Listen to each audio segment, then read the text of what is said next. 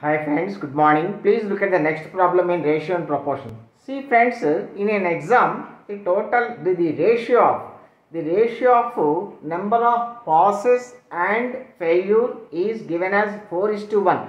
That means uh, 4x people, 4x people passed and 1x people failed. That means total number appeared is uh, 5x.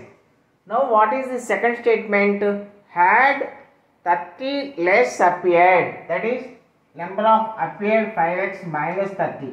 Had 30 less appeared and 20 less passed. So then passed becomes uh, 4x uh, 20.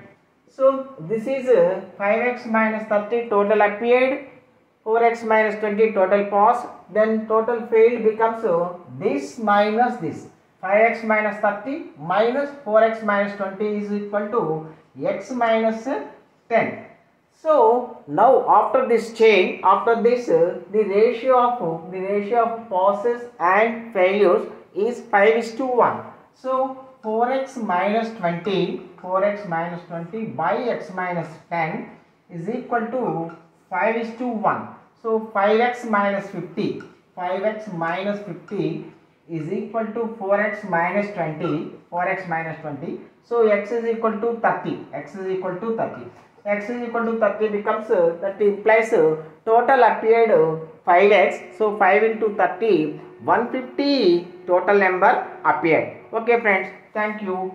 5x 5x is equal to 5 into 30 that is equal to 150 is the total number of students appeared. Thank you